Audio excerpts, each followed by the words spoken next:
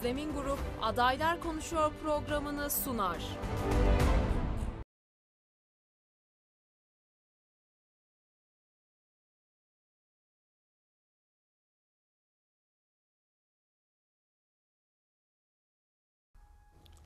Değerli izleyenlerimiz Kanal 3 ekranlarına hepiniz hoş geldiniz. Adaylar Konuşuyor programıyla sizlerin karşısındayız. Bugünkü konuğum ise AK Parti Susuz Belediye Başkan adayı Mehmet Selek oluyor. Efendim hoş geldiniz. Hoş bulduk Erman. Nasılsınız? Çok teşekkür ediyorum. Çok sağ olun Mehmet Bey. Evet 5 yılınızı geride bıraktınız evet. ve yeniden 5 yıl için adaysınız. Ama daha öncesinde ben size Mehmet Selek kimdir diye sormak istiyorum. Her adayımıza sorduğumuz gibi. Öncelikle iyi akşamlar diyorum sizin nezdinizde tüm Kanal 3 çalışanlara, çalışanlarına. ekranları başında bizi izleyen tüm Afyonkarahisarlı vatandaşlarımıza, bölge vatandaşlarımıza, ülke ve yurt dışından izleyen bizi izleyen herkese Öncelikle iyi akşamlar diyorum. Sizin nezdinizde de iyi bir yayın olmasını temenni ediyorum. Çok sağ olun. Peki e, Mehmet Selek kimdir e, Sayın Başkanım? İlk olarak böyle başlayalım. Evet. Mehmet Selek kimdir? E, 1974 yılında Afyonkarahisar'da dünyaya geldim. İlk, ilk öğrenimimi ilk Susuz kasabasında tamamladım. Hı. Orta öğrenimimi Şemsettin Karahisar Ortaokulu'nda. Lise tahsilimi Endüstri Meslek Lisesi'nde. Ee, üniversite tahsilimi de Anadolu Üniversitesi İktisadi İlimler Fakültesi'nde kamu yönetiminde bitirdim. Ee, işte askerliğimizi yaptık. 10 ee, yıllık bir kamu tecrübemiz var. Evet. 2019 seçimlerinde belediye başkanı olarak göreve başladık. Halen bu görevi onurla, şerefle sürdürüyoruz. Bizleri seçen, buraya layık gören insanları da mahcup etmeden görevimizi yaptığıma inanıyoruz. Bu doğrultuda 31 e, Mart'taki seçimlere inşallah adayız yani. Yeniden e, aday olmanıza e, ne sebep oldu? Neler sizi yeniden adaylığa itti peki Sayın Başkan? Öncelikle şöyle, e, biz Türk milletiyiz. Yani doğduğumuz topraklara, doğduğumuz coğrafya, insanımıza, hatta son dönemde yani ülkemize, dünyaya hizmet etmek istiyoruz. Biz de bu Necip milletin bir parçasıyız neticede. Aldığımız eğitimin, aldığımız aile terbiyesinin e, sahaya yansıtmak istedik, hizmet vermek istedik. Hı hı. 1989'da bizim kasabamız belediye olmuş. Ben o zaman çocuktum. 14 yaşında falandım galiba. E büyüdük, serpildik, zaman geçti, eğitim hayatımız geçti, gözümüzü bir açtık. Dedik aynı adamlar siyasetle uğraşıyor. Biz de bir şeyler yapabilir miyiz diye çıktık yola. Bir mücadele verdik. Gençlerin önünü açalım diye, hizmet edelim diye. Allah bize nasip etti. Ee, insanımız bizi, e, bizi bu göreve layık gördü. Bu göreve geldik. Ee, bu görevde de 5. yılımızı tamamlıyoruz. Ee, Allah'ın izniyle çok güzel şeyler de yaptığımıza inanıyoruz ve bununla da halkımızın karşısına çıkıyoruz diyelim. Peki e, şimdi bir belediye deyince e, aslına bakarsanız ilk akla gelen altyapı çalışmalarıdır. Doğru. E, bu kapsamda altyapı noktasında ne gibi hizmetler verdiniz geç, geçirmiş olduğumuz 5 yıl içerisinde? Evet çok güzel bir soru. Belediyenin ana görevleri var. Altyapı, üst yapı, asli görevleri var. Hı hı. Şöyle diyelim konuya şuradan başlayabiliriz. 2019 yerel seçimlerinden sonra benden önceki belediye başkanı buradan kendisine teşekkür ederim. Cengiz Bey'den görevi devraldık. Hı hı. Tabii bizim kasabanın en büyük oyuyla seçildik. En büyük teveccühünü gördük, seçildik. Allah razı olsun Cengiz Bey de destek verdi. Beraber e, devir tesliminden sonra başladık. Daha sonra e, kamu adına bu bu süreyi nasıl geçiririz diye düşündük. Arkadaşlarımızla, ekiplerimizle, ekip arkadaşlarımızla, meclis üyelerimizle e, zamanı doğru kullanmadığına, bütçeyi doğru kullanmadığına neler yapabiliriz diye baktık ve bir eylem planı hazırladık. Yani evet. bu eylem planının içerisinde neler var? E, yerel halkın taleplerini aldık. E, bizim orada villa bölgeleri var. Villadaki insanlarımızın, entelektüel insanların taleplerini aldık. Evet. Notlarımızı aldık. Hı hı. Fabrikalar bölgesiyiz. İşletmelerin taleplerini aldık. E, bu başlıklarda topladık. Daha sonra bu başlıklara bir de biz tabiat ve çevreyi de ekledik. Yani e, yerel halkın talepleri, villa talepleri, işletme talepleri ve tabiat ve çevre adına ne yapabiliriz diye bu e, eylem planını hazırladık. Evet. Bu eylem planını hazır, hazırlarken de e, öncelikli planlar ne, orta ve uzun vadeli planlarımız ne, hı hı. tabiat ve çevre adına neler yapabiliriz diye bir plan yaptık ve bu doğrultuda da bütçe, e, bütçede ne yapabiliriz, elimizdeki imkanlar ne diye baktık. Bunu açabilirsek mesela e, devir olan bütçeye baktık. Gelirler, giderler, piyasa borçları var mı, kamu borçları var mı bunlara baktık. Ee, sağ olsun bizden önceki belediye başkanımıza burada teşekkür ediyorum. Gayet e, daha önceki belediyeyi bayağı dizayn etmiş e, bu konuda. E, bu elimizdeki imkanlara baktık. imkanlarımızı araştırdık. Daha sonra bunlarla neler elde edebiliriz? E, belediye imkanları, kamu imkanları, işletme imkanları, iktidar imkanları, gelir getirici imkanlar nedir? Bunların üzerine çalıştık. Ve bu 5 yılı nasıl e, zaman açısından, ekonomik açıdan nasıl kullanabiliriz diye bir eylem Evet. planı yaptık. Ve bunda da başarılı olduk gibi. Yani bilmiyorum halkımızın takdiri e, başladık. E, bunda tabii en önemli etken altyapı hizmetleri. Yani olmazsa olmaz kesinlikle e, kentlerin, şehirlerin olmazsa olmazı altyapı. E, bununla başladık. Burada biz ne yapabiliriz diye baktık. E, altyapıda elektrik, su, kanalizasyon, yağmur suyu hattı, kuzey kolektör atık hattı, doğal gaz bunları yapmayı planladık. Hepsini beraber yapabilir miyiz diye düşündük. Bu takdir edersiniz ki Türkiye şartlarında çok zor bir şey. Evet. Niye zor bir şey? Her şeyi belediye karşılasa bile TEDAŞ'ın bütçesi olmayabiliyor. Daha sonraki yıllara verebiliyor veya doğal gaz sizi peyderpey yıllara göre yıllara sarih Evet. olarak verebiliyor. Ee, Bunları aynı anda nasıl yaparız? Ee, Daha sonra üst yapıyı nasıl yaparız? Yollar kazılmasın, bir daha olmasın diye çalıştık. Tabii burada iktidarın avantajları ve vekillerimizin avantajları var nasıl değerlendirebiliriz diye ve şunu iddia ederek konuşuyorum. Çok büyük iddia yani bu gerçekten çok büyük iddia. Ee, Türkiye'de 1380 civarında belediye var. Ee, bütün belediyelerden de normalde şikayetçiyiz. Kazıyorlar, tekrar Evet. yapıyorlar diye.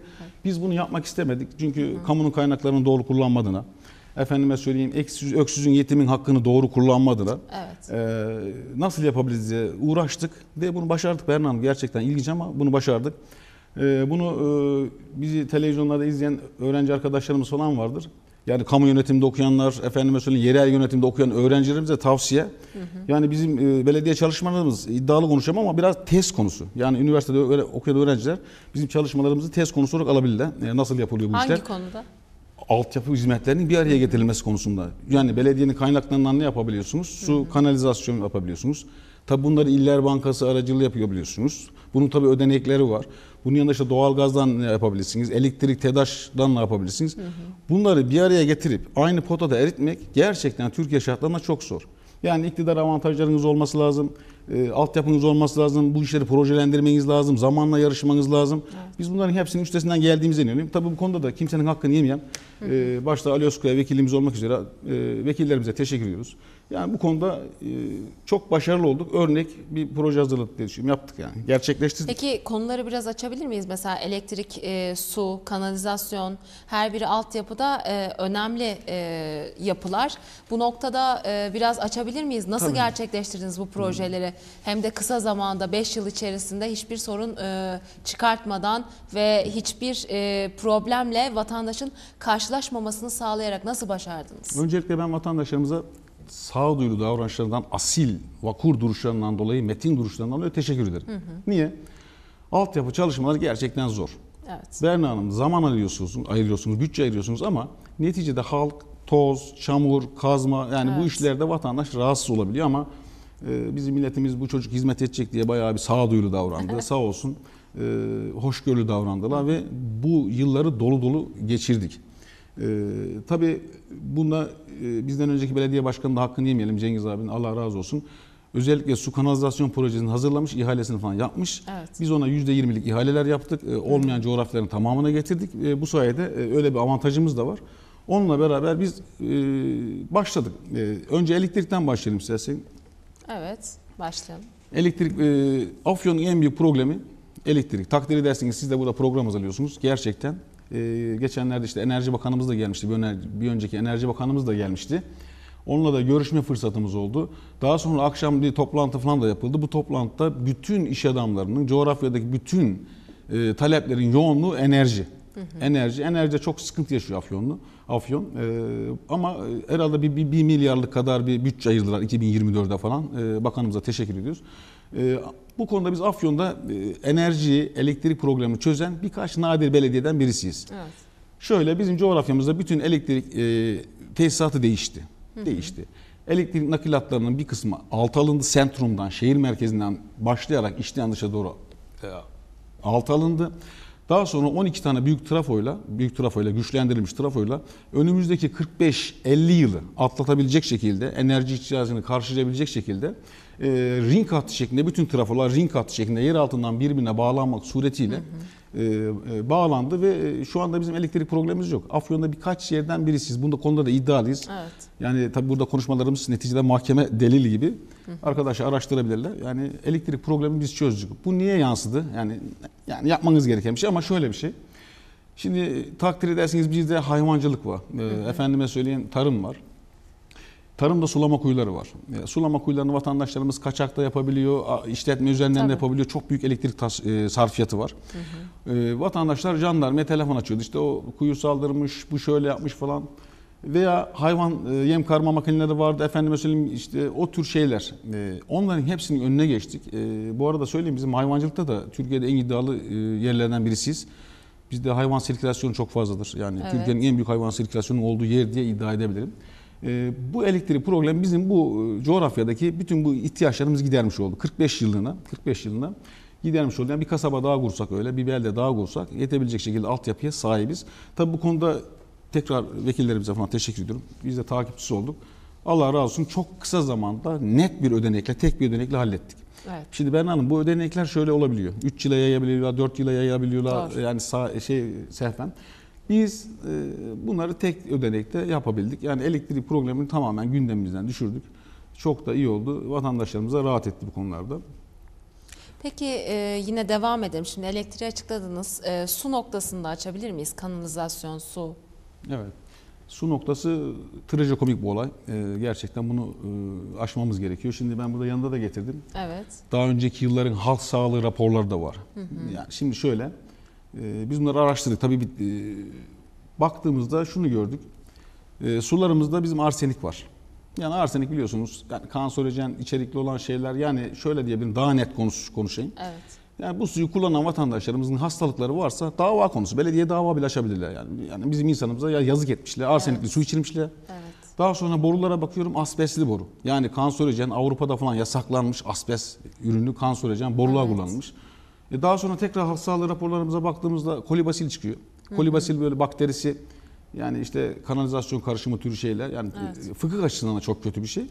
E, incelenmesi gereken bir şey. E bunlara baktığımızda e, çok kötü bir durumdu. E, bizden önceki belediye başkanı sağ olsun bunu fark etmiş. E, biz de fark ettik. Bunun üzerine gittik ve e, yine çok iddialı bir şey yaptık Evet. suyu komple değiştirdik. Arkadaşlar üzerine çiziyorum. Suyu komple değiştirdik. Nasıl? Su kaynakları, ana arter boruları, su depoları, hattın tamamı bütün her yer komple değişti. Eskisini tabiri ise, rica etse çöpe attık. Yenisini kurduk. Bu çok zor bir olay ama bunu başardık. Bunu yaparken tabii e, ISO 9000 standartlarını bırak Avrupa Dünya standartlarına uyduk zaten. O Evet. da bir şey. E, yine iddialı bir şey konuşacağım. Mesela e, toprak altındaki vanaların hepsi dökümdür. Paslanmasın falan diye teknik konu bunlar ama mesela bizim Afyon'da fazla yoktur bilmiyorum yani ama bizim vanalarımız falan kromdur. Yani şöyle söyleyeyim. Bizim personelimiz gece 3'te cep telefonundan suyu yönetebiliyor. Evet. Suyu yönetebiliyor. Sudaki bar basıncını görebiliyor. Depoda ne kadar su var var diyor veya elektrikler komplekse jeneratör sistemleri devreye giriyor falan böyle. Ee, yani Amerika Birleşik Devletleri ve İngiltere hariç onların standartları farklıdır. Evet. Diğer standartlara uygun dünya standartlarına bir su e, şebekesini yaptık. Bunu yaparken akıllı saate de geçtik. Akıllı saate de geçtik. Akıllı saatin ne özelliği var? Şöyle bir özelliği var. Yani vatandaşımız saat almıyor. Bahçesinde kaçak su kullanıyor. Efendime söyleyeyim e, aklına geldiği zaman bir ödeme yapıyor. Tabii biz bunları e, faizsiz belediyecilik e, adı altında Evet. insanlar peşin su alıyor. E, hakları zayi olmuyor. Kimsenin kimseye kul hakkı geçmiyor. Yani bunu da sağlamış olduk. Akıllı saate de geçmiş olduk. Vatandaşlarımız da bu konuda gerçekten duyarlı bize çok yardımcı oldular. Sağ Evet. olsunlar. Su problemini de tekrar e, komple çözdük. Hatta şöyle söyleyebilirim. Bizim kasaba gibi, kasaba gibi iki kasaba daha yapsanız altyapı problemi suda çözüldü. Yani dağa, taşa, e, ekranların başında izleyen arkadaşlarımız hepsi bilir. Dağlarda, taşlarda su var. Ne kadar Her tarafta su var. E, yani su problemi tamamen gündemimizden düşürdük yani. Kanalizasyon peki başkanım? Kanalizasyon yine e, kanalizasyon şöyle Berna Hanım. E, tabii kanalizasyonlar coğrafyalara göre özgü bir şey. Bazı coğrafyalar işte e, zeminine göre sert zemin olabiliyor. işte farklı düzlemlerde olabiliyor. Bizim Evet. orası düz bir coğrafya olduğu için ova. Kanalizasyonda haddiyle yani kanalizasyonda bizde sıkıntı oluyor düz bir coğrafya olduğu için. Ee, o yüzden kanalizasyon bizde arkadaşlar belki veterinerler de girebilir. Ee, çok kötü yani şeyler vardı, ulaşılamayan yerler vardı. 1989'da belediye olmuşuz. Hala 30 yıldır kanalizasyonu olmayan e, arkadaşlar vardı, coğrafyalar vardı, mahalleler vardı. Yani belediyenin kanalizasyonu ben bağladım. Buradan Evet. iddia ediyorum. Arkadaşlar da seyrediyor. Belediyenin kanalizasyonu ben bağladım arkadaşlar. Gerçekten 35 yıllık belediyeyiz. Okulun kanalizasyonunu ben bağladım. Dava açabilirler. Efendime söyleyeyim e, belediyenin kanalizasyonunu biz bağladık. Diğer coğrafyaların kanalizasyonlarını biz bağladık. Kanalizasyonu olmayan bir yeri bırakmamaya çalıştık. Yani bu ümran meselesi neticede Evet. yaşadığımız zamanda. Kanalizasyonun bütün problemlerini e, çözdük. Bütün altyapılarını çözdük. Yani ileride yapılaşmalar olsa bile, ileride yapılaşmalar olsa bile bu coğrafyada Allah'ın izniyle ta dağda belki siz bilmezsiniz ama Beyazlı'ya kadar, futbol sahalarına kadar yani arabayla kilometrelerce ölçebileceğiniz yerlere kanalizasyon götürdük. Yani buradan şu çıkıyor, isteyince oluyor. Evet. Hani e, rahmetli Erbakan sö- söylerdi, e, insan tekeden süt çıkarması lazım. Yani biz çuvalı silke silke bir şeyler yaptık ve bunları yaptık. Kanalizasyon problemimizi tamamen gündemimizden komple düşürdük yani inşallah. Peki yağmur suyu hattı noktasında neler yaptınız? Yağmur Ee, suyu hattı da şöyle. Sayın düz bir- Selek. Evet, e, bu da önemli bir konu. Yağmur suyu hattı sel baskınlarına falan ciddi bir bizim düşük profilli yerimiz var. Hatta yani eski başkanımız da orada oturuyordu. Evet. Yani cennet mahallesi gibi bir sel geldiği zaman herkes teknelerle falan dışarıya çıkıyordu. 30 yıllık aynı problem. E, görüntüleri vardır zaten yağmur suyu hattının. E, onu da tamamen gündemimizden düşürdük. Yağmur suyu hattı yaptık. Hatta onunla yetinmedik. Onunla yetinmedik. E, Kuzey kolektör hattına bağladık bu kanalizasyonları, yağmur su hatlarını. Evet. Bizim önceden yani bunları söylerken de biraz ayıp oluyor ama bizim önceden e, kanalizasyonlarımız, atıklarımız e, kiralanmış tarlalara gidiyordu. Yani önceden kiralanmış tarlalara gidiyordu. Tabi burada bakteri, e, sinek, bakteri, larva mücadelesi gerektiren şeyler vardı ama sağ olsun bizden önceki belediye başkanı da bunu fark etmiş, bir hat çekmiş. Biz ona ilaveten hatlar çektik. Afyon Belediyesi'nden yardım aldık, 600'lük ana hatlar çektik. Konya yolu üzerinde bulunan su arıtma tesisine bağladık. E, tabiat adına, doğa adına da bir şey yapmış olduk bu arada larva sinekle mücadele adına. Bir de atıkları e, şey yapmış olduk yani, e, bertaraf etmiş olduk. Yani ciddi problemlerdi, maliyetli, zaman isteyen, 30 yıldır ötelenmiş, kimsenin bakmadığı, dikkat bile etmediği problemleri gündemimizden düşürdük yani, düşürdük yani. Peki Kuzey Kolektör hattı e, nedir başkanım ve son e, durumu nedir? Biraz açar mısınız bu konuyu da? Ya, Kuzey Kolektörhat dediğimiz hat e, Afyon, Konya, daha doğrusu şöyle söyleyeyim. E, biraz e, genel bilgi vermek istiyorum vatandaşlara Buyurun lütfen. Şimdi Buyurun. Avrupa Birliği müktesebatı var. Haberlerde hep duyarız böyle Avrupa Birliği müktesebatına göre şu şöyle böyle. Aynen. Şimdi Avrupa Birliği müktesebatına göre belediyelerin e, katı atık bertaraf tesisi ve sıvı atık bertaraf tesisi kurma zorunlulukları var. Yani belediye bir yer belediyelikse çöplerini arıtabileceği katı atık tesisi olması lazım. Suyunu da arıtabileceği e, sıvı atık tesisi olması lazım. Ama takdir edersiniz ki bunlar çok maliyetli şeyler. Tabii bizim insanımız zeki, Türk insanı zekidir. Bunu nasıl çözmüş? Birlikler kurarak çözmüş. Evet. Mesela Afyon Çevre Birliği demiş. 60 belediye ve köyler bir araya gelmiş. Bir birlik kurmuşlar. Orada e, Çevre Birliği Afyon'un bütün kat atığını arıtıyor. Biz Evet. de Mehmet Zeybek Başkanı, Burhanettin Başkanı biz de orada yöneticiyiz. Evet. Bu konuda altını çizmek istiyorum. Afyon Çevre Birliği biz geldikten sonra Zeybek Başkanıma da teşekkür ediyorum. Burhanettin Başkanıma da teşekkür ediyorum. Ee, biz geldikten sonra Türkiye'de en iyi dördüncü çevre birliği sayabiliriz. Ee, niye sayabiliriz? Ee, orada şöyle bir işlem yapıyoruz Berna Hanım. Çöpler toplanıyor. İşte demiri, kömürü, kağıdı ayrılıyor. Evet. Elektrik üretiliyor ve bunlar lotlara yani çukurlara dolduruluyor. Yani tabiata bırakıyoruz. Evet. 300 senede mi e, gidecek, 400 senede mi toprakla buluşacak? Ama biz şöyle bir kompozit tesisi kurduk e, orada. Ciddi bir yatırımdı. E, yüklenici firma vardı. Şimdi oradaki atıkların hepsi kumaş parçası, lastik parçası, odun parçası, kalori değeri olan her şey şu anda çimento fabrikalarına yakıt olarak satıyoruz. Evet. Yani oraya 1000 ton atık gideceğine toprağa 300 ton gidiyor, 400 ton gidiyor. Bu çevre adına da gerçekten güzel bir şey yapılması gereken bir şey. Maalesef bunu büyük şehirlerin bile çoğu yapmıyor. Biz bunu da başardık. Ee, sıvı atık dediğimizde de yine e, arıtma birlikleri var. Konya yolu üzerinde e, kuzey kolektör atık hattımız gidiyor, su hattımız. Afyon'la beraber susuz ve diğer belediyelerin atık sular oraya gidiyor, arıtılıyor. Orada da çok ciddi bir mesafe kat edildi. Ee, öğrenci çocuklarını falan gezdiriyoruz orada. Biz bakıyoruz çevre adına çocukları bilen, bilinçlensin diye. Orada da şöyle bir işlem yapılıyor. O buradan Afyon'un atık suyun hepsi o kadar net, o kadar berrak arıtılıyor ki damlama sistemlerinde çobanlar bölgesinde kullanılıyor. Evet. O kadar net yani güzel tesisler var. Tabi bu arada ben şeye de teşekkür etmek istiyorum. Burada Emine Erdoğan Hanım'a da teşekkür etmek istiyorum. Sebebi şu, e, yanlış anlaşılabilir. E, sıfır atık projesi biliyorsun dünyada ödül aldı. E, insanlar artık atığa duyarlı hale geldi. O yüzden e, Türk insanı zeki bunu da birlik vasıtasından çözüyor. Biz de böyle çözdük. Evet. Kuzey kolektör hattına da biz atık sularımızı bağlamış olduk yani. Peki e, başkanım genel itibariyle şimdi e, pek çok yapmış olduğunuz önemli altyapı çalışmalarınızdan bahsettiniz. E, en önemli e, çalışmalardan biri de aslına bakarsanız belediyelerde tüm adaylar için en önemli çalışmalardan biri doğalgaz e, çalışması. Bu kapsamda neler söylemek istersiniz? Susuz bu noktada hangi başarılara imza attı? Sizle beraber 5 yıl içerisinde doğalgaz noktasında neler yapıldı?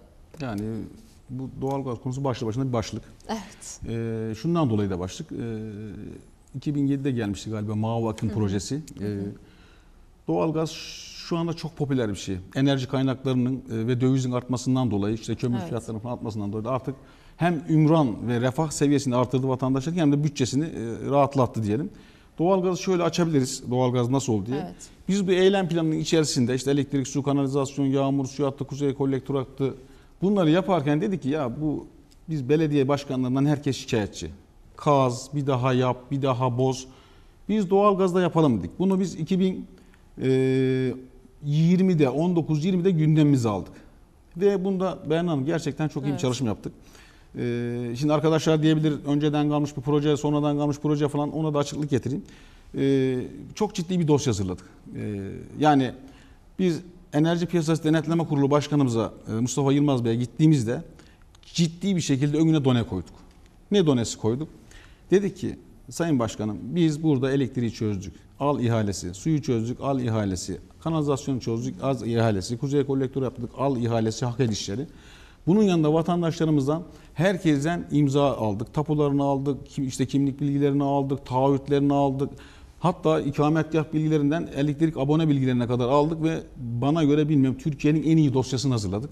Vatandaşlarımız çok iyi teveccüh gösterdi. Mustafa Bey inceledi bunu, beğendi. E tabi Ali Bey gibi bir vekilimiz de olunca bu işin hakkından geldik. Evet. Ve yine iddialı bir şey konuşacağım. Burada da Türkiye'nin en hızlı doğalgaz alan yeriyiz. Yani çok iddialı bir şey. Evet. Yani e, bir yılda ve iki sezonda, sezon iki aldık. Şu anda yani bizim evlerimizde, sosyal tesislerimizde, villalarımızda, camilerimizde, okullarımızda biraz ileri gideceğim. Besihanelerimizde bile doğalgaz var.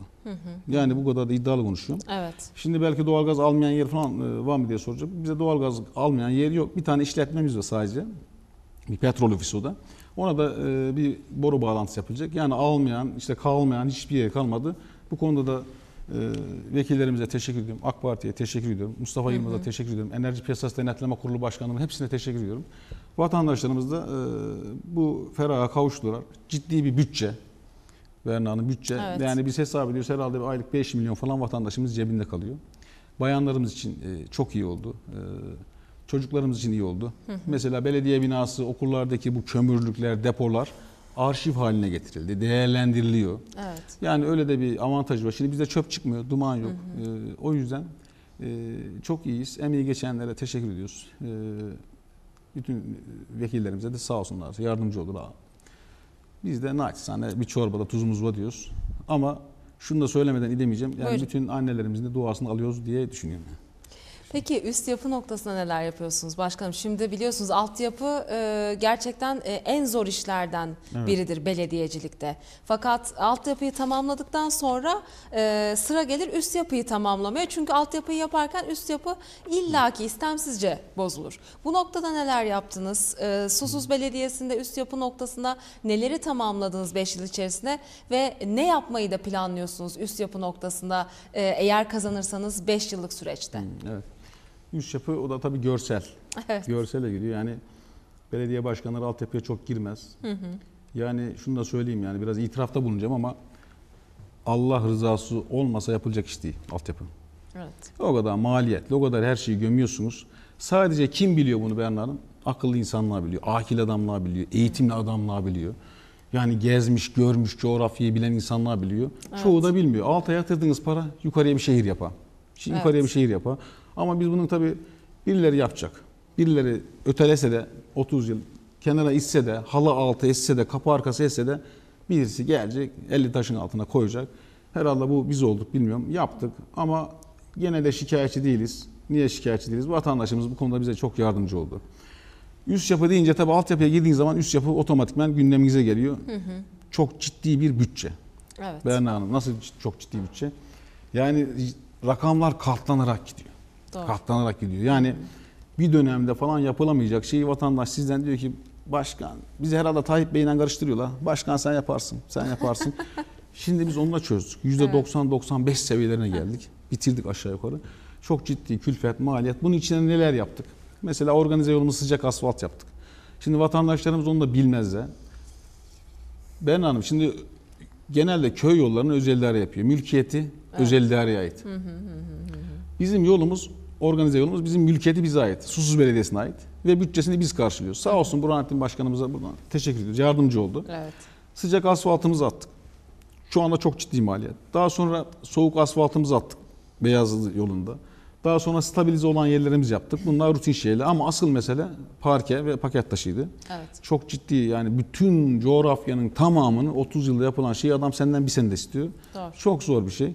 Ee, bu anlamda da e, çok ciddi çalıştık. Teknik anlamda çok ciddi çalıştık. Yani e, tabiri caizse bir sefer yapılıyor, e, dengeli yapılması lazım diye. E, yani Afyon'da 3 tane fabrika var. Bir tanesi bize çalışıyor gece gündüz. O şekilde yaptık. E, %90 seviyelere geldik. Yaklaşık 200 küsür bin metrekare yer yaptık. Çok ciddi rakam. Yani belediyenin 2 yıllık bütçesi kadar. Ama çok ciddi tasarruf önlemlerine falan bunun hakkından geldik. E, paket taşını çözdük aşağı yukarı. Çok az bir şey kaldı. İnşallah 1-2'ye kadar bir şey kalmayacak. Yani o da bitti. %95 seviyelerine geldik. E, kent merkezinin içinde begomit taş töşedik. E, begomit taşlar da töşedik. Oraları da yaptık yani. E, üst yapıda aşağı yukarı çok fazla yol bazında çok fazla bir şey kalmadı. Bir iki aylık bir şey kaldı. O da herhalde seçime kadar ya bitmese de çok fazla bir şey kalmayacak. Vatandaşlarımıza bu konuda e, sabırlarından dolayı teşekkür ediyorum. E, biraz sonra projeler bölümüne geçersek de diğer Evet. kalan yerler var. Böyle ocak yolları, çevre yolları falan onlara da inşallah e, asfalt şey aldık özellerde e, 2024 programına falan aldırdık. Evet. Onları da geçeriz. Yani bu konuda da üst yapıyı da çözdük. E, Bu konuda şanslı belediyeyiz. E, Niye şanslı belediyeyiz? Bir dönemde bunları yapmanız hem altyapıda bunların Evet. hepsinin hem de üst yapıyı tamamlamak gerçekten çok zahmetli bir iş ama neticede bir Allah razı olsun hepsini hallediyor. O da bir şey. Peki başkanım çevre alanında neler yaptınız susuzda? Çevre alanında e, aslına bakarsan çevre e, çok önemli bir konu. Niye önemli konu? Sizin yapmış olduğunuz su kanalizasyon falan sizin kendi coğrafyanıza bağlıyor. Evet. Ama neticede çevre yatırımları veya çevre korumaları diyelim bütün hem doğayı ilgilendiriyor hem gelecek nesilleri ilgilendiriyor hem sizin işte Afyon'u ilgilendiriyor, komşularınızı ilgilendiriyor. E, bu konuda da çok duyarlıyız. E, çok iddialı konuşacağım. Yine bazı konularda ben iddialıyım. E, çevre konusunda da gerçekten ben çok iddialıyım. Evet. Yani nasıl iddialıyım? Bizim programımız şuydu çevrede. Mevcut kötü şeyler varsa bertaraf etmek, gidermek, yenilerine müsaade etmemek gibi bir şeyimiz vardı ve bunları başardık. Yani çevrede mesela bizim gündemimizde bir biyogaz problemi vardı. Evet. Bu yani ulusal basını da meşgul etti. Türkiye Büyük Millet Meclisi'nde Burcan'ı da taşıdı. Soru önergesi verdi. Burada sağ olsun e, valilerimiz, vekillerimiz falan da devreye girdi.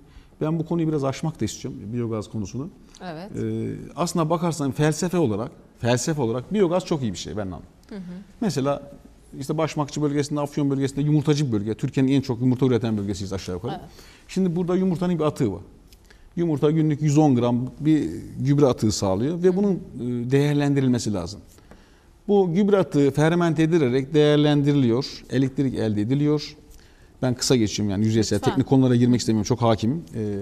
Ferment edildikten sonra bu işte bakteri ürüyor. 36 santigrat derecede bekletiliyor. Bakteri ürüyor. Bakteriden gaz elde ediliyor. Gaz yakılıyor. Evet. Elektrik elde ediliyor. Kalan kısmı süzülüyor.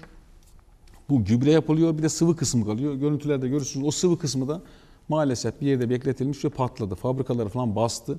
Çok ciddi bir e, işte kokudur, şudur, budur. Vekillerimizle beraber çıktık. Bir eylem planı hazırladık orada da valilikçe. Orada da elimizin taşına koyduk. Bir 3 yıllık eylem planı hazırladık. Orayı patlattık. Homojen bir şekilde e, gübreleri yaydık. Vatandaşlarımızın e, tarla zararlarını giderdik. Sinekle mücadele yaptık orada ve 3 yılın sonunda bizim coğrafyamızda yani sinektir, larvadır, gübredir, atıktır. Bu problemi, biyogaz problemini çözdük. Çok ciddi bir problemdi. Ülke çapında bir problemdi. Çevre adına çok büyük problemdi. Onu çözdük, gündemimizden düşürdük. Ee, yenilerine de müsaade etmiyoruz zaten. Yani çok yakın bir coğrafyada olduğumuz için. Çevre adına bunları yaptık. Efendime söyleyen e, işte bir sürü yatırımcı geldi. Biyogazcı geldi, işte kümesçi geldi. Efendime söyleyeyim e, kanunu fabrikası geldi. Kemik fabrikalarını taşıma istediler. Evet. Yani bunların hepsine e, çok ciddi müdahil olduk. E, tabiri caizse yani kelle koltuk geziyoruz bu konularda. E, başarılı olduk. Kötü yatırıma izin vermedik. Çünkü bizden sonraki nesil bize hesap soracak. Ya beddua edecek ya hayırla yad edecek. Biz tabii hayırla yad edilsin diyoruz. Bizden sonraki nesillere kötü bir şey bırakmak istemiyoruz ve coğrafyada ihanet etmek istemiyoruz. Coğrafyaya ihanet etmek istemiyoruz. Mesela bir örnek verebilirim bu Buyurun konuda. lütfen. Buyurun. Bir örnek de verebilirim. Mesela e, bizden önce 2012 yılında, 2012 yıl- yılındaki başkan termik santral ruhsatı vermiş. Termik santral ruhsatı. Yani termik santral ruhsatını açayım. Doğalgaz alıyorsunuz, yakıyorsunuz, elektrik üretiyorsunuz falan. Bizim o Çivişkaşı mevkisinde termik santral ruhsat verilmiş. Yaklaşık 600 bin kişinin yaşadığı bir şehrin tükettiği e, doğalgaz kadar doğalgaz tüketecek. Havadan bize işte azot yağacak falan. İyi ki Evet. olmamış, bereket versin olmamış. Yani o yüzden e, coğrafyaya kötü yatırım gelse biz ona karşıyız. E, iyileştirme yapıyoruz, doğaya işte ağaçlandırma yapıyoruz, e, millet park yapıyoruz. Yani doğayı koruma adına her şeyi yapıyoruz yani. Peki e, başkanım ulaşım noktasına neler yapıldı şimdiye kadar? Ulaşım bizim öncelikli problemlerimizden birisiydi. Ee, Özeldeydi. Biz göreve geldikten sonra vatandaşlarımızın bu talepleri vardı. Bu taleplerini değerlendirdik. Ee, Ulaşımdaki özeldeki arkadaşlar çağırdık. Buradan hepsine teker teker teker teşekkür ediyoruz. Dedik siz 10 yılına bunu özelleşti almışsınız ve 6 yıllık müktesebat haklarınız var. Evet. Ama vatandaşlarına böyle talepleri var. Siz de uygun görürseniz e, belediye alalım, belediye faydalansın, halk faydalansın. ben de size ömür boyu dua edeyim, teşekkür edeyim dedim. Ve yani ilginç arkadaşlar kırmadılar. Allah razı olsun buradan söyleyeyim. Hepsine teker teker teşekkür ediyorum. Aldık. Evet. Aldığımızda iyi oldu. Niye iyi oldu? Arkasında hemen bir pandemi yaşadık Berna Hanım. Pandemi, pandemide de biliyorsun ki ulaşım zarar etti, şu zarar etti ama biz vatandaşımın hizmetini yaptık. Şu anda Afyon'un en ucuz taşımacılığını yapıyoruz. Türkiye'de de belki en ucuz taşımacılıklarından birini yapıyoruz. Yani diğer belki belediyelere söyleyeyim de öğrenci falan 5-6 lira bize yani çok komik rakamlara çekiyoruz yani. Ee, o şekilde ulaşımı çözdük. Tabii ulaşımı çözerken vatandaşların ihtiyaçlarını da görüyoruz. Ek güzergahlar ilave ettik. Efendime söyleyeyim ee, işte e, vatandaşların ekstra işleri çıkıyor. Vatandaşların işte cenaze hizmetleri bir yere gidecek oluyor falan onları da görüyoruz. Onları da görüyoruz. Yani ulaşımda güzergah bazında da çözdük. Ee, bir 10 arabamız falan var, aracımız var. Yani Afyon'un en ucuz taşımacılığını yapıyoruz. Bu konuda çok vatandaşlarımız da memnun. O konuda iyiyiz. Peki e, gençlere gelelim başkanım. Gençler noktasında ve özellikle gençlerin en ilgi duyduğu e, dal olan spor dalı noktasında ne gibi başarılarınız oldu? 5 yıl içerisinde neler yaptınız bu alanlarda? Yani bizim bir önceden bir kulübümüz vardı. Ee, bizden önceki başkan da sağ olsun ilgileniyordu. Biz de devam ettirdik. Ee, reel konuşmak lazım. Yani hani yardım ediyoruz falan öyle değil kardeşim. Şu anda hemen bakacaksın puan tablolarına falan. Ben 5 yılım için konuşuyorum. Kendi 5 yılım için. Afyon'un en büyük kulüpleri kimdir? Afyon Spor'dur. Evet. Efendim söyleyeyim Bolvedin var. İşte efendim söyleyeyim Sandıklı var. Emirdağ var. Beşinci biziz. Beşinci susuz. Beş yıldır biz aynı seviyeyi koruyoruz. Evet. Aynı e, şeydeyiz, e, pozisyonumuzu koruyoruz, e, gençlerimize yatırım yapıyoruz. Aynı zamanda mesela Kon- Konya Spor'un altyapısını biz çalıştırıyoruz. Her sene Zafer Cup turnuvaları düzenliyoruz. İşte Evet. Eskişehir Spor'un, Bursa Spor'un falan katıldığı cup, cup turnuvaları düzenliyoruz. Gençler adına her şey yapıyoruz. İşte bizden önce sağ olsun, buna, buna da gireyim. Yani 30 yıl bir kale direği bile olmayan belediyeye, bizden önceki belediye başkanımız sağ olsun e, bir stat kazandırmış. Hatta ismini de ona vermeyi düşünüyoruz yani. E, Daha önceden bir gale direği bile yok. Onu da söyleyeyim yani arkadaşlar, ilgilenen arkadaşlar böyle not aslında. E, Biz de daha sonra vatandaşların talepleri olsun bir halı sahada biz kazandırdık. Yani en azından hiç tesis olmayan şey 2017'den bugüne kadar tesise boğuldu yani. Susuz Belediyesi bu sezon şantiyeye döndü yani. Ekipmanları görseniz yani şantiye şeklinde çalıştık. Sporda böyle. Peki sosyal faaliyetlere gelelim başkanım. O noktada neler yaptınız? Sosyal faaliyetler, bütün belediyelerin sosyal faaliyetleri var. Kendi çapında, coğrafyasına uygun faaliyetler var. Bizde de sosyal faaliyetler işte aklına ne geliyor? Ramazan iftarları geliyor, yağmur duaları geliyor, işte erzak yardımları geliyor. Onun gibi bütün sosyal alanlarda doldurduğumuzu inanıyoruz. Ya yapıyoruz yani vatandaşımıza. Tabii bir pandemi geldi. O da bana göre bir sosyal faaliyet. Ee, Yani bunu da aşmak istiyorum. Bir depremde e, hazır konuya girmişken deprem konusuna da geliriz. Lütfen Mesela bir buyurun. deprem yaşadık. Depremde bütün belediyeler, bütün belediyeler ben burada şu konu, konunun da altını çizmek istiyorum. Pandemide bütün belediyelere ek- eksik ödenek geldi. Evet. Yani bu bütün belediyeler bu dönem belediye başkanlığı yapanlara yani teşekkür ediyorum bu dönem belediye başkanlığı yapanlara. iki yıl gerçekten bir bütçe savaşı verdik. E, ülkeyle beraber, dünya ile beraber. Evet. E, bu belediye başkanlarımıza teşekkür ediyorum. Pandemide de biz e, yine sosyal faaliyet adına her şeyi yaptık. Yani deprem bölgesine kepçe gönderdik, kamyon gönderdik, efendim cenaze aracı gönderdik, çadır gönderdik. Hatta bu konuda bir şey daha diyeyim. E, Erkmen Belediyesi ile biz havalar ısındıktan sonra çocuk, yazlık çocuk elbisesi ve e, efendim bayan iş çamaşırı da gönderdik. Yani o kadar duyar deprem sonrası, kış sonrası yardımlarımız falan devam etti. Bunu sosyal aktivite adına ne varsa biz yaptık. Yani camilerimizin işleri varsa doğalgazlarını falan yaptık. Efendime söyleyin işte kursumuzun işleri varsa yaptık. Öğrenci işleri, okul işleri, sosyal alanda ne varsa boşluk dol yani kabul etmeyecek şeyi yaptığımız inanıyorum yani. Peki, Atladığımız konular da vardı tabii yani. peki gelecek dönem noktasına geçelim artık başkanım. Şimdi eğer e, yeniden seçilirseniz gelecek dönemde yapmak istediğiniz projeler neler? Neleri ürettiniz? Projeleriniz ne? E, neyi hemen e, hayata geçirmek istiyorsunuz? Evet. Şimdi e, şöyle bir şey var. Yaptıklarımız bitmedi daha yani. Onu da söyleyeyim. Şimdi belediyemize bunun hizmetleri yaparken Susuz noktasına gerçekten çok ciddi bir e, çalışma ve hizmet vermişsiniz başkanım. Yani burada meclis arkadaşlarımıza teşekkür ediyorum. Vatandaşlarımıza da teşekkür ediyorum. Vekillerimize teşekkür ediyorum. Biz dolu dolu geçirdik. Hani böyle insanın dolu dolu Kesinlikle. zaman oldu ya verimli olduğu dönem böyle e, verimli bir geçirdik. Biz bu arada belediyemize bu e, hizmetleri yaparken ekipman da kazandırdık işte. Efendime söyleyeyim zabıt arabası kazandırdık, vidanjör kazandırdık.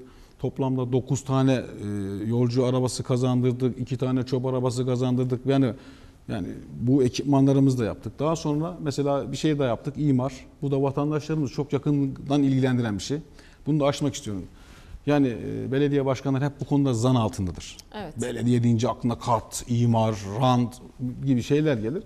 E, vatandaşların bilgilendirmek adına söyleyeyim. E, mesela ben kendi dönemimde imar faaliyetleri şöyle yapıldı. Ben bir genel revizyon yaptım Berna Hanım. Evet. Genel revizyon şu. Özellikle daha önceki dönemlerde 90'lı yıllardan kalan eski sistem imarlarda 5 metre yollar, zikzak yollar, yeşil alan basket topu gibi oradan almış, oraya koymuş. Ahmet'ten almış, Mehmet'e gelmiş. Evet. Efendim sizinkinde 6 kat var, onunkinde 4 kat var falan veya yükseklikler. İşte fabrikalarda H yükseklikleri var. Mesela fabrika 9 Evet. metre olan var, 10 metre olan var. Biz bunu meclis üyelerimize değerlendirdik. Yani arkadaşlar biz toplanıyoruz ama yani biz bu vatandaşa güzellikler yapalım. Ne yapalım? Bir adalet sağlayalım arkadaşlar. Ne, ne yapalım dedik? Evet. Bir caddede 4 katsa 4 kat olsun. Bitişik nizamsa bitişik nizam olsun. Ayrık nizamsa ayrık nizam olsun. Gereksiz yollar, siyasi olarak konan yollar varsa onları kaldıralım. Ee, Bunların hepsini genel revizyonda yaptık. Bizim orada işletmelerimiz, vatandaşlarımızın hepsi bu konuda e, memnun. Geçmişte müzdariplikle yaşamışlar, adliyelik olmuşlar. Biz bunların hepsini çözdük. Hatta şunu da iddialı bir şekilde konuşabilirim. Bir dönemim bitti. Ben kendi dönemimde hiçbir kimseye yol koymadım. Evet. Ben kendi dönemimde hiçbir kimseye yeşil alan koymadım. Bu konuda vebal almadım ve yönetimdeki arkadaşlar da bu konuda vebale sokmadım. Ee, bunu niye üzerine basa basa söylüyorum? Belediye başkanlarının maalesef maruz kaldıkları iftiralardan, iddialardan birisidir bu. Bu konuda e, çok şeffafım yani. Vatandaşlarımızı bu konuda yani dikkatini çekmek istiyorum. İmar konusunda falan. Hiç kimsenin vebalini almadık. Beddua edebilirler yani. Açık. Projelerinize gelelim. Projelerimiz e, birçok projemiz var. E, En önemlisi hangisi? Mesela bizim bir kent meydan projemiz var. Ee, kent meydan projemizde e, iki tane tasarımımız var. Arkadaşlar VTR'si vardır galiba. İki tasarımdan bir tanesi e, saat kuleli bir e, tasarımımız var. Bunu ihaleye çıktık. Evet. Bu suistimal de ediyorlar arkadaşlar. Şu an ekrana da geliyor Bu zaten. ekrana gelen e, slaytı bir de fotoğrafları, görselleri var. E, Türkiye'nin en iyi güzel yerlerinden birisi yapacağım burayı. Mesela oraya bir saat kulesi yapacak. Bak şu görmüş olduğumuz saat kulesi ekranlarda görüyor vatandaşlarımız Evet. tamamen el işçiliğiyle, tarihi eser modunda. Yani bir Dolmabahçe Saat Kulesi nasıl, İzmir Saat Kulesi nasıl o modda tarihe not düşecek şekilde. Evet. Bugün biz onu kafeterya olarak kullanacağız. Bayanlarımızın falan girebileceği. Ama ileride düğün salonu, sergi salonunda olabileceği 100 yıl, 500 yıl tarihe not düşecek görselleri görebiliyorsunuz. Ee, çok şık, kaliteli, el işçiliğiyle yapılmış, e, tamamen bir ressam edasıyla yapılmış bir şey yapacağız. Bunu ihalesini falan yaptık, bütçesini ayırdık. Ama bir teknik, e, statik değerlerinde bir sıkıntı çıktı. Tekrar değerlendirmeye aldık. Bu olmazsa kesinlikle olmazımız. Ee, bu bizim olmazsa onu bunu yapacağız. Bunun etrafına da doğal gazlı insanların oturabileceği kafe- kafeteryalar yapacağız ama ben çok bu konuda çok iddialıyız. Evet. Yani malum biliyorsunuz şehirler, kentler meydanlarıyla ünlü. Bizim meydanımız da çok güzel olacak. Yani ileride bir büyük şehir olma durumumuzda falan biz işte burayı hazırlıyoruz. Alt Evet. belediye oluruz diye. Altyapısını çözdük, üst yapısını çözdük. Kent merkezi, millet parkları. Burası tamamen bir alt belediye hüviyetine kazandırmaya çalışıyoruz. Tabii vatandaşlarımız çoğu bunun farkında değil. Ama biz Evet. bunları yapmaya çalışıyoruz. Ee, bu konuda çok iddialıyız. Bunu yapacağız. Allah izin verirse, vatandaşlarımız e, teveccüh gösterirse bunu yapacağız, hayata geçireceğiz. Ailelerimizin, mesela öğretmenlerimizin, dışarıdan gelenlerimizin faydalanabileceği, e, yani Türkiye standartlarının üzerinde bir olacak. Yani bu kadar da iddialı konuşuyorum. Yani tekrar diyorum Türkiye standartlarının üzerinde yani öyle Sa- Saat Kulesi'ni belki yanlış anlıyor ama çok e, farklı bir şey olacak. Mesela içinde Da Vinci Hedef büyük. Hayır Da Vinci merdiveni Evet. falan koyacağız. Böyle e, sanatsal bir şey öyle gelişi güzel oldu değil yani. Gerçekten e, tarihe not düşecek. E, padişahların yaptığı bir şey olacak yani. Böyle bir şey. Eminim yapacaksınızdır başkanım. Gerçekten çok kararlı gördüm sizi. Peki Millet Parkı noktasında neler yapmak Millet istiyorsunuz? Parkı'nı açalım. E, Millet Parkı arkadaşlar tabii e, izleyen arkadaşlarımız bilir. Bizim Güzelim Dağı diye bir mevkimiz var. Kurtuluş Savaşı'ndan kalma. Evet. İşte Kocatepe, Güzelim Tepesi bunlar e, bizim değerlerimiz. E, Biz buraya şöyle bir şey yaptık. Orada bir kum ocağı faaliyeti vardı. Biz oraya bir alanı ilan ettik. Kısa geçiyor. Yani orada Evet. Kurtuluş Savaşı olduğu için oraya alanı ilan ettirdik. Üzerine de e, Millet Parkı yaptık. e, Projesi yaptık. Hani bunu da belki proje olarak görecekler ama bunu Evet. iki yıl önce e, Murat Kurum Bey, Murat Kurum Bey Çevre Bakanı iken e, ziyaretlerimizde, e, kendisini bakan iken ziyaretlerimizde e, Mehmet Zeybek Başkan'ın vekillerimizle beraber bu projeyi kendilerine sunduk. Kendileri de incelediler projeyi. Hatta bizi bilgilerini falan da istediler. Attık. Herhalde yardımcı olacaklar. Bu Millet Parkı da e, tarihe not, not düşecek bir şey. Bizim hızlı Hıdırlık'tan veya Keltepe'den daha üstün bir şey. E, tepeye hakim bir şey. Bunun içinde neler var? Bu konuyu biraz açmak istiyorum. E, yani konferans salonları, duş salonları, efendime söyleyen mesir alanları, havuzlar, oyun alanları, otoparklar, işte elektrik sistemi kendi olacak. Efendime söyleyeyim yamaç paraşütünün daha yapılabileceği, badminton oynayabileceğiniz çok geniş bir coğrafya, güvenli. Yani insanların e, rahat vakit geçirebilecekleri, konferans yapabilecekleri, toplantılarını yapabilecekleri bir alan. E, çok iddialıyız bu konuda. Bu da yani Afyon'un e, projesi bana göre bu susuzun değil, Afyon'un projesi. Evet. E, Afyon'da zaten birleşiyoruz aşağı yukarı. E, bu da coğrafyaya çok büyük hizmet diye düşünüyorum. E, çok teferruatlı. Bunda kesinlikle olmazsa olmazımız. E, bunu Sayın Murat Kurum bize söz verdi yardım edeceğini diye. Tabii kendisi Çevre Bakanı. Şimdi Allah nasip etsin İstanbul Büyükşehir Belediye Başkanı olsun. Ona da Evet. yani Allah yardım etsin diyoruz. E, özellikle deprem bölgesinde İstanbul'da bir şeyler yapsın istiyoruz. Peki diğer projeleriniz nelerdir? Yani Ee, diğer projelerimiz Selek? evet mesela yapamadıklarımız da var. Şimdi böyle konuşuyoruz da çok güzel her şey güllük gülistanlık gibi konuşuyoruz ama mesela biz bu eforumuzu, enerjimizi buralarda sarf ettik ama birkaç yapamadığımız proje var. Yani bunlar da gerçekçi olmak lazım. Mesela biz kapalı pazar projemizi yapamadık. Evet. Kapalı pazar. Kapalı pazar yapamadık. Zamanımız yetmedi ya. Biz zamanla yarışıyoruz ya. Yani gece biz 4-5 saat uyku uyuyoruz yani. Evet. Kapalı pazar yapacağız inşallah. Projeleri hazır inşallah. Vatandaşlarımıza layık. Ee, kapalı pazar da biraz açmak istiyorum. Ee, Lütfen buyurun. yani diğer belediye başkanlarına da örnek olsun ya onlar da değerlendirsin diye söylüyorum. Şimdi şöyle e, devletin belediyelere yüklemiş olduğu görevler var. Berna Hanım. Mesela diyor ki deprem anında toplanma yeri te- temin edeceksin diyor. Veya diyor ki kurban bayramlarında hayvan kesim yeri göstereceksin diyor. Yani bizim yapacağımız kapalı pazar sivil savunmada toplanma bölgesi olacak. Okulların müsamemelerini yapabileceği bir alan olacak. E, pa- kapalı pazar olarak kullanılabilecek. Efendime söyleyeyim bunun yanında işte şarj istasyonu olarak kullanılır, otopark olarak kullanılır. Yani dolu dolu haftanın her günü her günü kullanabileceği bir alan. E, üzerinde gez yapılabilir, farklı şeyler olabilir. Yani bir amaca hizmet eden değil, 5-6 amaca hizmet eden bir alanı inşallah kapalı pazar yapacağız. Zaten vatandaşlarımıza sözümüz var. Yani bu altyapı yaptıktan sonra bu bahsettiklerim de çocuk oyuncağı diyebiliriz yani. Bunlar çok basit şeyler. Harika. Evet. Peki başkanım e, son olarak şimdi e, yaklaşık olarak da 6 dakikamız e, kaldı. O zaman hızlı geçelim. Ee, çok hızlı. Daha son olarak eklemek var. istediğiniz bir şey var mı? Bahsetmek istediğiniz, Çok hızlı üstünde geçeyim. durmak istediğiniz. Çok hızlı geçeyim vatandaşları bilgilendirmek adına. Mesela hızlı geçiyorum projeleri. Mesela bizim 3 adet projemiz etütleri yapıldı.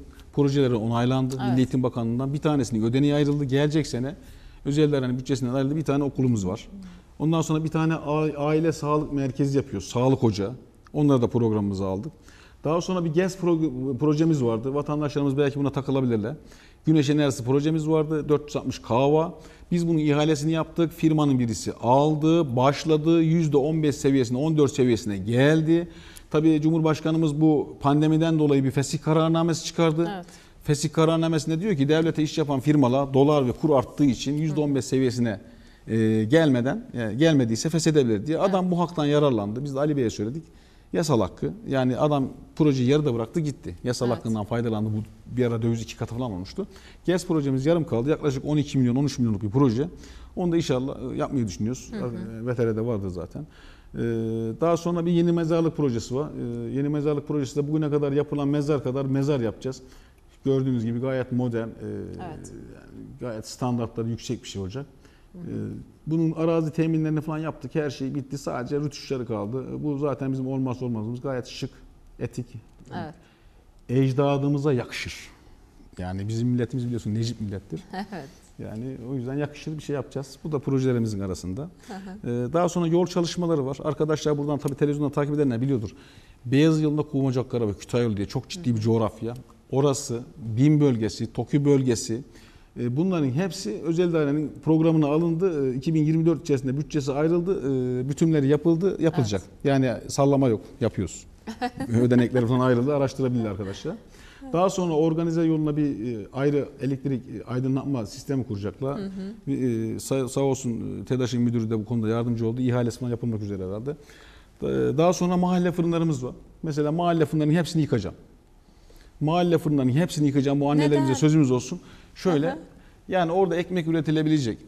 Bu ekmeğin satışı yapılabilecek. Efendim Gıda Tarım Bakanlığı kodeksine, gıda kodeksine uygun. Doğal gazlı, tarihi eser görünümde, çevreye duyarlı şu şekilde belki görebiliyorsunuz. Ee, Bu şekilde fırınlar yapacağız. Yani Evet. modern, etik, imarında sıkıntısı olmayan, yanında çocukların eğlenebileceği. Yani Türkiye standartlarının üzerinde olacak. Şekili biz öyle görebilirsiniz ama bayağı düzgün bir şeyler yapacağız yani.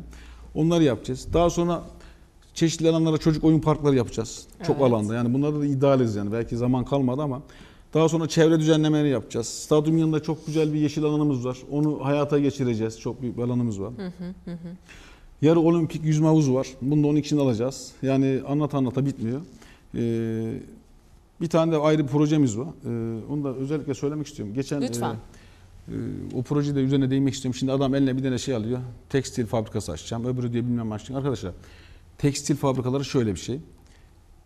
Bir tekstil fabrikası yaptığınız zaman atıyorum 20 milyon 30 milyon para harcıyorsunuz. Adam geliyor sana 50 bin, 50 bin lira kira veriyor. Bu kirayla eleman çalıştırıyor ama tekstilcinin işine geliyor neticede yani vergiden falan düşüyor. Ama istihdam oluyor. Evet, Tamam, güzel, evet. şık, herkes yapmaya çalışıyor. Bize de yapmaya çalışıyor. Mesela biz bu konuda ne yaptık? Biz bu konuda ana susuz kasabasının problemi falan tekstil 30 kişi 40 kişi. Evet. Bizim geçen e, Hüseyin Uluçay Bey lansmanında, tanıtımında yapmıştı 100. yıl organize sanayi bölgesi. 100. yıl organize sanayi bölgesinde 2 yıldır üzerinde çalışıyor. Kim çalışıyor? Gökmen Bey çalışıyor, Kübra Hanım çalışıyor, Ali Özkaya çalışıyor, vekillerimiz çalışıyor, AK Parti çalışıyor, Mehmet Zeybek çalışıyor, Mehmet Selek çalışıyor. Evet. Yani bunu Afsiyat da destekliyor. Burada da mesela şimdi 100. yıl organize sanayi bölgesi burada yaklaşık 15 bin kişi çalışacak. Evet. 15 bin kişi Çok çalışacak. ciddi bir rakam. Çok ciddi bir rakam bu. Ee, Türkiye standartlarının üzerinde bir organize sanayi bölgesi olacak. Yani şöyle söyleyebilirim ki burada hava taksi, taksi, helikopter kiralayabileceksiniz yani.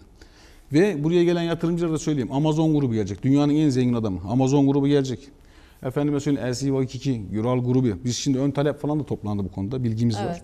Yani mesela hava savunma sanayide en çok üretim yapan ikinci yer olacak burası. Hava savunma sanayinde. Yani Afyonkarahisar aslında bu organize sanayiyle e, dünyada önemli bir e, yol kat edecek. Evet, yani- dünyada diyorum bu arada Evet. çünkü söyledikleriniz dünya markaları. Dünya markaları artı şöyle bir şey var. Mesela bizim insanı ilgilendiren konular var. İnsanlar mesela bizim orada belki 100 tane muhasebesi çalışacak. İnsanlar tabelot yemek satacak, servis çekecek, kamyon dönecek, teker dönecek oralarda. İnsanlarımız o noktada e, şey ama ben şu açıdan bakıyorum. Kesinlikle ara eleman, teknik eleman, muhasebeci bu insanların iş problemi kalmayacak. Yani şunu söylemeye çalışıyorum. Bizim Afyon'da susuzda atıyorum. 100 kişinin ihti- ihtiyacı var veya 200 kişinin ihtiyacı var. Biz bunları değil genelde bölgenin biz Afyon'a hizmet ediyoruz. Afyon'da bugün 15 bin kişinin direkt dolaylı yönden belki 20 bin kişinin istihdam sağlayacağı, iş sağlayacağı, evine ekmek götürebileceği e, manada e, yer yapıyoruz bitti. Onu da söyleyeyim. Evet. Hüseyin, Hüseyin Bey geçen tanıttı. E, Yani AK Parti inşallah bunun e, bir rütuş kaldı inşallah o da bitecek. Çünkü üzerine çalışılıyor. Biz bunu da yaptık yani hani böyle söyleyen arkadaşlara iş, aş Evet. falan diyorlar da onları biz zaten yapıyoruz. O konuda da bir sıkıntımız yok. Ee, şimdi bazı e, konulara değinen bilmiyorum yani. Lütfen, lütfen. Eğer konuşacaklarınız varsa lütfen başkanım. Ben Buyurun şimdi lütfen. şeyle e, arkadaşlar bazı soru falan sormuşlar da Lütfen. Yani işte Açıklık getirmek istediğiniz bir konu varsa lütfen başkanım. yani mesela adam demiş doğalgazı siz mi yaptınız? Evet. 2019'dan sonra projelendirdik biz yaptık. Biyogaz sorununu efendime söyleyeyim biz çözdük. E, Çözüldü. Yani o konuda bilmiyorum. Efendim e, su yatırımları hakkında bahsettiğimiz gibi bizden önce Cengiz Bey'in e, bir takdiri var. Onu biz Evet. hayata geçirdik. Efendime söyleyen bir sıcak su konusu var. Sıcak suyu sattık falan. Onu bir açıklık, e, onu hemen bir kısaca açıklık getirmek istiyorum. Buyurun, Şimdi buyurun. hı falan diyorlardır arkadaşlar. Arkadaşlar şimdi kamudan zamanımız az galiba. Arkadaşlar ben çok doluyum yani. Kamudan bir yer kiraladığınız zaman bu mermer ocağı olabilir, kum ocağı olabilir, hayvancılık sahası olabilir. Evet. Ne bileyim işte krom ocağı olabilir, sıcak su olabilir. Kamudan bir şey yaptığınız zaman hatta ev olabilir. Ruhsat 5 sene geçerli. 5 sene için oraya yapılaşma yapmanız lazım. İşletme süreleri falan vardır. Bunları yapmadığınız zaman bu ruhsatlar düşer. Devletin tekeline düşer. Şimdi bizim de bizden önceki belediye başkanımız sağ olsun bir sıcak su kuyusu vurmuş. Efendime söyleyeyim bunun da 5 yılı dolmak üzereymiş. Ee, efendime Evet. söyleyeyim bize telefon geldi, işte yazı geldi. Görüştük. Afyon'da 12 tane sıcak su ruhsatının iptal edileceği, edileceği doğrultusunda. Evet. Ee, biz de tabii sorduk ne yapabiliriz diye. Ya yatırım yapmanız gerekiyordu ki yapamadık. Ya da Evet. bunu e, rücu çıkmasın, size borç çıkmasın diye e, ihaleye çıkıp satmanız gerekiyordu. Biz Afşet'e görüş sorduk, müfettişlere sorduk, e, bakanlık müfettişlerine sorduk. Afşet'e görüş sorduk. Afşet dedi ki şu rakamdan satabilirsiniz. Kısa geçiyorum zaman herhalde kısıtlı. Biz ihaleye çıktık. Afşet'in dediği rakamlardan atıyorum 3,5 milyon lira bir e, rakam biçti Afşet. Biz 8,5 milyon liraya sattık. Adam devrini aldı. Daha sonra özel idareye taahhütünü verdi. Ona da 5 yıl bir süre verdiler. Yani bu şekilde o kuyunun ölmesini önledik ve kamuyu zarara uğratmaktan sakındık. Adam alan adam da oraya 5 yıl içinde yatırım yapmazsa onun hakkı da ölecek. Şunu söyleyeyim bizimle beraber bunu da söyleyeyim. 12 tane sıcak ruhsatı vardı aynısının. Evet. İşte Şuayb Bey'in vardı, Demirel'in efendime söyleyeyim. e, Kutlu kardeşlerin vardı, Maraşlı bir firmanın vardı. Bunların hepsi çoğu düştü. Düştü çoğu. Biz düşürmeden kamuyu kare geçirdik. Yani böyle personel konusunda soru sormuş arkadaşlar. İşte 85-90 personel falan o konuda bir soru var. Bizden önce çok düşük personel çalışıyormuş. Ben kimseyi çıkarmadım. Üzerine 43 tane eleman aldım. 6'sı Evet. engelli, 6'sı engelli, 6'sı engelli. Bunların hepsinin maaşını yatırıyorum, sigortasını ödüyorum. Efendime söyleyeyim. e, yani çalıştırıyoruz yani, çalışıyoruz yani. O konuda da yani bir sorusu varsa veya işte ne bileyim diğerlerin hepsi dava konusu arkadaşlar. Mesela e, sorusu olan varsa burada konuştuklarımızın hepsi dava konusu. Belediye ile ilgili sıkıntısı olan varsa hepsi dava konusu. Çoğu vatandaş bilmiyor kulaktan Tüm dolma. soruları aslına bakarsanız Tabii. büyük bir açıklıkla Bana e, şimdi iki saat süre verseniz ben hepsini açarım burada. e, açarım, cevaplandırdınız başkanım. Susuz'da yapmış olduğunuz e, hizmetleri keza çok ciddi şekilde anlattınız. Detaylarıyla birlikte anlattınız. E, son olarak buradan e, artık seçim arifesindeyiz. Seçime günler kaldı. E, Susuz belde halkına neler söylemek istersiniz? Neler e, buradan paylaşmak istersiniz? Son cümlelerinizi almak isterim. Evet, son cümleler yine uzun olacak. Şimdi siyasetin güzel tarafları var, kötü tarafları da var. Bu işe giriyorsanız rahmetli Erbakan'ın bir lafı var. Siz yapmazsanız Yahudi yapacak, Ermeni yapacak falan. Birileri yapacak bu işi. Evet. Bu işe girdiğiniz zaman da yani adam iftira atıyor, kulaktan dolma bir şey söylüyor. Arkadaşlar bunların hepsi dava konusu. Ben kendi dönemimden bahsediyorum. Vebali bir işe girmedim. Öksüzün, yetimin malına el sürmedim. Ciddi yani. Ben şu anda benden önceki belediye başkanı odası nasılsa aynı, makam arabası nasılsa aynı. Evet. Belediyede bir sefer yemek yemedik. Efendim öksüzün, yetimin hakkına teveccüh yani şey göstermedik yani. Tenezzül etmedik, bir şey göstermedik. Kamu kaynaklarını doğru kullandığımı inanıyorum. Böyle hani bilmiyorum varsa konuşan falan da her her mecrada konuşabiliriz. Yani eleştirilerin hepsini açığız. Çünkü belediye başkanları hep eleştirecek. Çünkü karşınıza çıkan aday sizi eleştirecek. Eleştiriyi açığız, sert eleştiriyi açığız, yorumu açığız ama Evet. iftiraya açık değiliz. İftira noktasında, iftira noktasında ben olayım meclis üyelerim olsun. E, iftira noktasında kesin katı şeyiz. Yani beddua edebiliriz arkadaşlar. Yani çünkü bizim de çoluğumuz çocuğumuz var neticede. Evet. Ee, doğru bir yönetim sergilediğimize inanıyorum.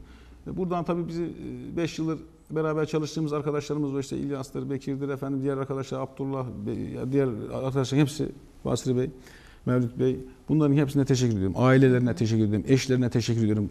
Mesela burada ne yaptıksa e, beraber yaptık. Bir de şey var, gazino konumuz var yani onu da söyleyeyim. Bizim Buyurun. coğrafyada bir gazino da vardı onu da kapattık. Evet. Yani bu sosyal faaliyetler arasında gösterilebilir. Ee, yani insanların böyle alkol aldığı, işte efendim farklı muhabbetlerin döndüğü, insanların, ailelerin yıkıldığı kötü bir durum vardı. Ee, onu da biz çözdük. Çok ciddi bir vali beyin de desteğiyle. Ee, Evet. Buradan şeye de teşekkür etmek istiyorum. Ee, Veli Murat Çıracı Bey'e. O da sağ olsun Musfar grubu olarak orayı satın almıştı. Kolluk kuvvetleriyle girdik çıktık orayı. Yani kolluk, jandarma, kolluk kuvvetleriyle girdik çıktık. 29 milyon ceza yazdık. O rakam bugün 100 milyon. Evet. Yani yazacak adamı da göremiyoruz. Kusura bakmayın yani biz vatandaşımızı, annelerimizin burada duasını aldığım inanıyorum. Coğrafyayı öyle kötü yerlerden arındırdığımıza inanıyoruz. Ee, yani güzel şeyler yaptığımı inanıyorum. Kendi zamanımızı dolu dolu geçirdik. Zaten e, e, bizde hakkı olanların hepsine e, ben mesela hakkımı helal ediyorum. İftira atanları helal etmem. Kesinlikle kati kuralım. Etmem. Yani Tayyip Bey de rica etse etmem. Etmem. İftira atan etmem. Çünkü biz çok düzgün. Mesela biz de yani 5-6 kardeş öksüz bir büyük. İftirayı kabul etmiyor. İftira varsa kabul etmiyor ama eleştiriye açığız. Evet. Yani o konularda açığız. İnsan duygulanıyor. Bizi sevenlerden Allah razı olsun. Yanımızda duranlardan Allah razı olsun. İnşallah tekrar beraber e, iyi bir şeyler yapmak için yola çıktık. Allah nasip ederse biz takdire, Allah'ın şeysine inanan insanlarız. Evet. Ee, Allah nasip ederse devam edeceğiz. Allah nasip etmezse seçilen arkadaşa başarılar dileriz. Biz centilmen, düzgün insanlarız. Burada ülkemiz bir seçime gidiyor. Evet. Bu seçime gidiyor. Seçime giderken şunu söylemek istiyorum. Biz evet seçime gidiyoruz. Kişisel hırslarımız var. Seçim hırslarımız var. Ülke gündemimiz var. Ekonomik sıkıntılar var. Ama biz aynı zamanda Müslüman milletiz. Necip milletiz. Evet. Kesinlikle biz Filistin'i unutmuş değiliz. Deprem bölgesini unutmuş değiliz. Myanmar'ı unutmuş değiliz. Afrika'yı unutmuş değiliz. Doğu Türkistan'ı unutmuş değiliz. Oradaki insanlar yani bizim milletimiz, bizim milletimiz çok necip millet. Hala bir yarımız orada. Hala bir yarımız orada. Ben her zaman söylerim. Televizyonun karşısına geçin. Berna Hanım. Bu Evet. da benim anekdotum tabii. Bir maç olsun tesadüfen karşınızda. Birisi siyah olsun, birisi beyaz olsun takımların. Bir tanesi 2-0 yeniliyorsun. Evet. Bizim milletimiz gider yenilen takım tutta. Yani nerede mazlum, nerede garip onun yanındadır. Biz de öyle yetiştik. Öyle Evet. eğitim aldık. Öyle Evet. aile terbiyesi aldık. Onlara da Cenab-ı Allah buradan yardım etsin. İnşallah ülkemiz güçlenir. iktidarımız güçlenir. Tayyip Bey'e yardım etsin. Ülke ne kadar güçlü olursa e, diğer ülkelere o kadar yardım ederiz. Diğer coğrafyalara yardım ederiz. Allah herkesin yardımcısı olsun. Biz zaten bu işi yani kubbede hoş seda bırakalım diye yapıyoruz. Evet. Efendime söyleyeyim hayırla yad edilmek için yapıyoruz. İhtiyarımıza bize bir tabure uzatsınlar diye yapıyoruz. Yani bize her şeyden önce bunu bir Allah rızası yapıyoruz. Kişisel hırslarımızı yemiş insanlarız. Yani onu da söyleyeyim. Diğer arkadaşlara da başarılar diliyorum. Yani özellikle bir arkadaşımız var yeniden Refah'tan. Genç, pırıl pırıl, medeni cesaret göstermiş. Allah razı olsun, takdir ediyoruz. Hatta ziyaret ediyoruz. Ee, Bir, bir arkadaşımız daha var. O da yani 8 dönemdir aday arkadaş. Yani başarı dileyeceğiz de nasıl dileyeceğiz yani? Allah sağlık versin diyeyim yani. Peki Sekiz çok dönemdir. teşekkür ederiz. Çok Size de teşekkür ederim. Kanal. Kanal 3 ailesine teşekkür ederim. Çok teşekkür HD'ye geçtiniz, ulusal basına geçtiniz. Herhalde bildiğim kadarıyla Ankara'da şubeniz var. Doğrudur. Antalya'da, Antalya'da bölge bayiliğiniz var.